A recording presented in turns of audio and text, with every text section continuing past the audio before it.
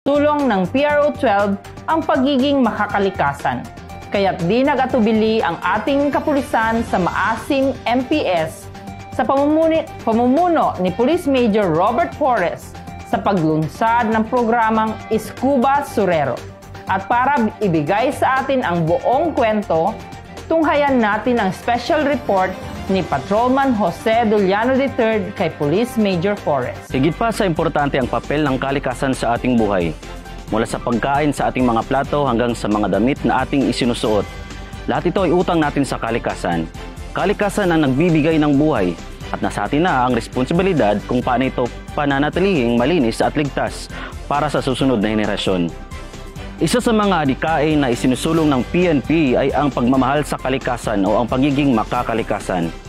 Isa ito sa mga dapat taglayin ng isang pulis maliban sa pagiging makadiyos, makatao at makabayan na siyang bumubuo sa PNP core values. Bilang isang magandang halimbawa, ang Maasim MPS o ang Maasim Municipal Police Station sa pamumuno ni Police Major Robert Forrest ay naglunsad ng mga programa kaakibat ang lokal na gobyerno ng Maasim at mga diving enthusiasts na may layong pangalagaan ang kalikasan at himukin ng mga tao na panatiling itong malinis. Ito ay ang Isco Basurero kung saan ang mga kapulisan ay nangungulekta ng basura sa ilalim ng dagat na maaring makapaminsala sa coral reefs at mga isda. Isa rin dito ang pangungulekta ng dagap or crown of thorns starfish. Ang dagap ay isang malaking starfish na naninira ng matigas o mabato na coral polyp. Pinangalanan itong crown of thorns dahil sa makamandag na parang tinik na tumatakip sa ibabaw nito. Ngunit paano nga ba ito naisipang gawin ng mga kapulisan ng Maasim Municipal Police Station? Pakinggan po natin si Police Major Forrest na bukod sa pagiging isang pulis ay isa ring marine biologist. Magandang araw po sa ating lahat. Ako nga pala si Police Major Robert Forrest, Acting Chief of Police of Maasi Municipal Police Station here in Sarangani, Police Regional Office 12. So kami po kasama aking mga volunteer divers, kami po ay nangungulekta ng mga basura uh, sa ilalim ng dagat during uh, International Coastal Cleanup or Environmental Month and itong um, just recently uh, concluded the uh, month-long celebration of Month of the Ocean for the month of May. So marami din po tayong activities, coastal cleanup and scuba surero na isinagawa to uh, show that the um, police cares for our environment. So just recently, meron po tayong uh, outbreak ng uh, crown of thorn or itong uh, COT or DAPAG. Uh, this DAPAG or COT feeds on microscopic uh, coral polyps that uh, if uh, left unattended itong um, um, COT na ito or DAPAG will lead to um, degradation or decrease in coral cover which means uh, uh, less uh, fish production and of course that will lead to socio-economic problem ng ating mga mangingisda.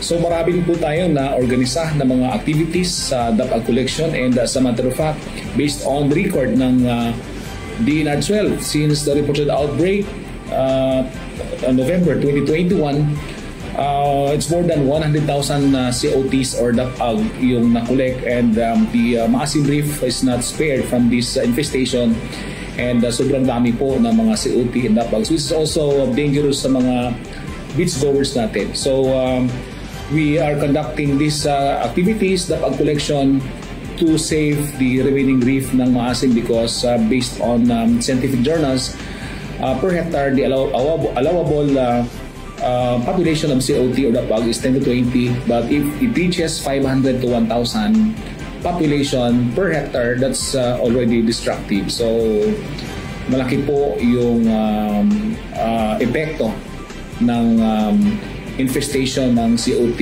na patuloy nating uh, ginagawa uh, sa tulong na rin ng ating mga volunteers, ng mga estudyante ng MSU at saka Chivas uh, Scuba Diving Club na atin na rin pong uh, inorganize.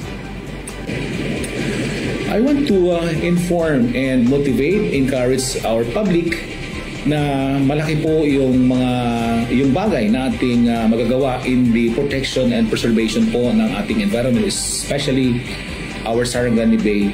So yung uh, simpleng pagtapon lang po ng basura sa tamang lalagyan will help us protect our uh, Sarangani Bay.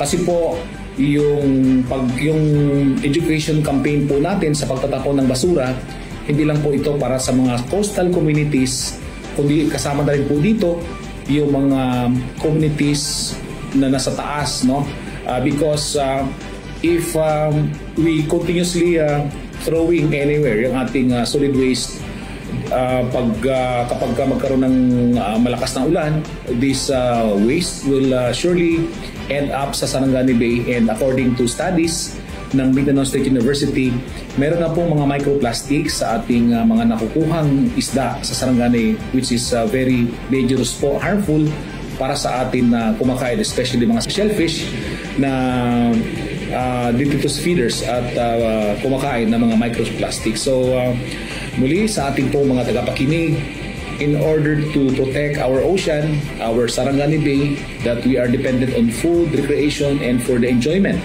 of future generation, we encourage everyone to help us, the PNP, protect our Sarangani Bay para sa ating uh, source of food, recreation, and enjoyment of future generations. At muli, ako po si Police Major Forest. Maraming salamat and mag-ingat, mabuhay po kayo. Talaga nga namang napakagaling ng kapulisan ng Maasim Municipal Police Station. Matagumpay na sa pagiging bantay seguridad, winner pa sa pagiging bantay kalikasan. Si Police Major Forest at buong kapulisan ng Maasim MPS ay magandang halimbawa na pwedeng pamarisa ng lahat ng Pilipino. Saludo po kami sa inyo sir. Yan po ang kabuuan ng kwento. Ito po ang inyong lingkod, Patrolman Jose Doliano III, naghahatid ng makabuluhang istorya mula sa talakayan sa Pro